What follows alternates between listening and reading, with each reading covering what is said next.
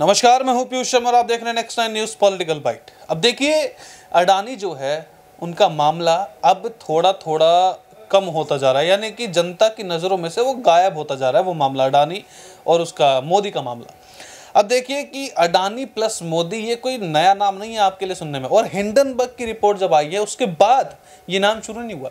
Adani plus Modi जो नाम है लोकसभा में 2014 के बाद से ही गूंज रहा है, क्योंकि अडानी को जो बड़े बड़े जो पोर्ट्स दिए गए हैं, जो बड़े बड़े प्रोजेक्ट्स दिए गए हैं, वो 2014 से पहले भी दिए जा रहे थे और 2000 2014 के बाद मोदी सरकार ने ज़्यादा देने लग गए।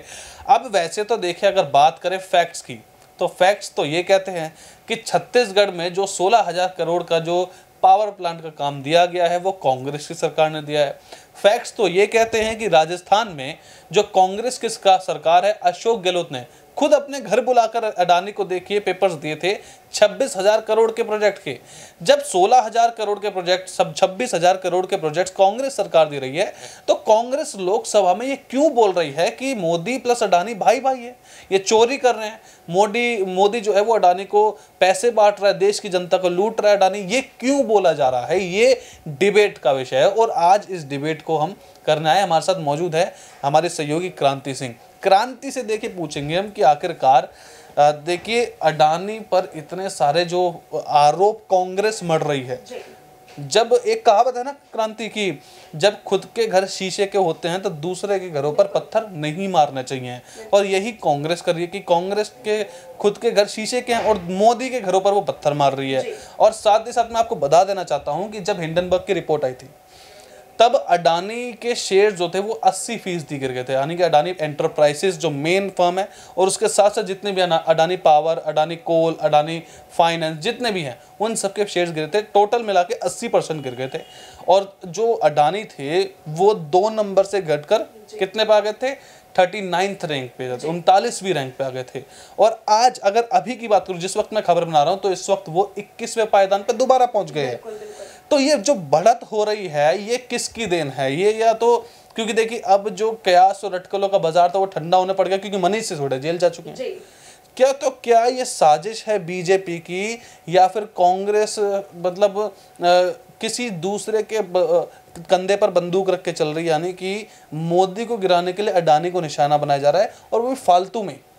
देखिए पीयूष यहाँ पर जिस तरीके से हम देखेंगे तो हमें भी यही कहानी यही मामला नज़र आएगा कि एक तरफ़ जहाँ पर मनीष सिसोदिया का जो मामला है वो इन दिनों इतना ज़्यादा हावी कर दिया गया। जबकि आपको शायद केजरीवाल का वो बयान भी याद होगा जिसमें उन्होंने कहा था कि बहुत जल्द जो है मनीष सिसोदिया की हम्म। गिरफ्तारी हो सकती है। वो बयान उनका तब आया था जब अडानी का मामला नहीं चल हम्म। रहा था।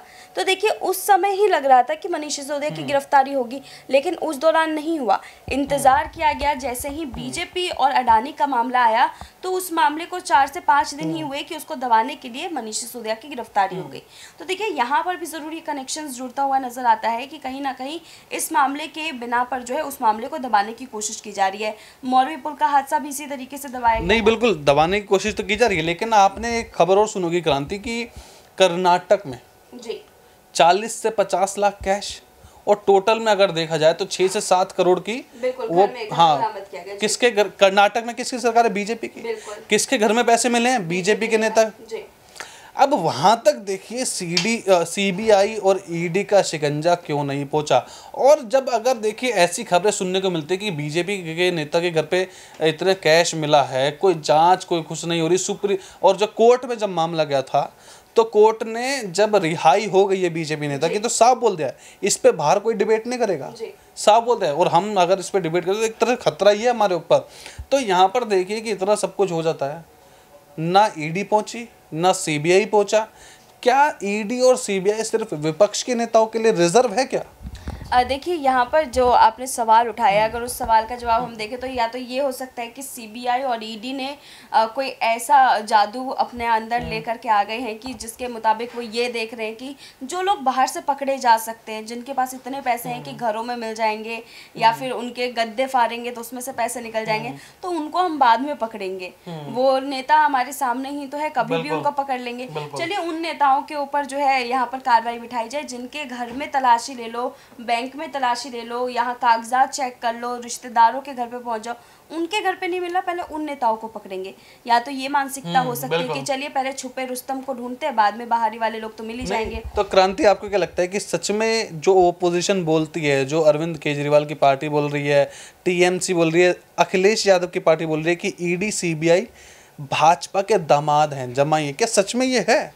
देखिए सच में है या नहीं है इसका तो कोई जवाब नहीं दे सकता क्योंकि जब कांग्रेस का समय था तो कांग्रेस के समय पर भी जो है बड़े संस्थानों के ऊपर सवाल उठाए जाते थे। हालाँकि हम्म। इतना ज़्यादा नहीं उठाया जाता था। उस समय थोड़ा कह सकते हैं कि उसकी व्यवस्था थोड़ी कम थी थोड़े कम कार्रवाई हुआ करते थे उस दौरान। तो उस मामले को जो है हम उस नज़रिए से देखा करते थे तो कांग्रेस हावी रहती थी बीजेपी और तमाम नेताओं के ऊपर। तो ये कहा जाता था कि वो हैंडल कर रही है। आज जब बीजेपी। आ गई है तो बीजेपी हैंडल कर रही है। हो सकता है वो सच भी कह रही है क्योंकि क्योंकि कांग्रेस ने तो अपनी सत्ता का समय देख ही रखा है तो उन्हें ज़्यादा अच्छे से पता होगा किस तरीके से हम्म। कठपुतली बना करके जो हम्म। इस्तेमाल किया जाता है और किया हम्म। नहीं जाता है तो देखिए अगर कांग्रेस कह रही है तो ज़ाहिर सी बात है कुछ ना कुछ तो सच होगा ही क्योंकि इस्तेमाल उन्होंने भी किया होगा बिल्कुल बिल्कुल कांग्रेस कह रही है तो कुछ ना कुछ तो सच होगा क्योंकि देखिए हर सरकार जो है जितनी भी सरकारें आती हैं जाती हैं तो हर कोई केंद्रीय जाँच एजेंसियाँ जो होती है जो इन्वेस्टिगेटिव एजेंसीज होती है उनका हर सरकार केंद्र में बैठी हर सरकार फ़ायदा उठाती है। इंदिरा गांधी ने इमरजेंसी के टाइम पे उठाया था राजीव गांधी ने उठाया था चौरासी के दंगों के वक्त उठाया था और अगर पी वी नरसिम्हा राव की बात है उन्होंने उठाया था फिर मनमोहन सिंह आए उन्होंने उठाया था। जब मनमोहन सिंह की सरकार थी तो आठ आठ घंटे तक अमित शाह और मोदी को ईडी और सीबीआई जो थी, वो पकड़ पकड़ के ले जाती थी। आठ आठ घंटे तक ही, देखिए, पूछताछ उनसे होती थी। आ, लेकिन बीजेपी जो है वो थोड़ा सा अलग रवैया अपनाती वो बिल्कुल शांत बैठे रहते थे।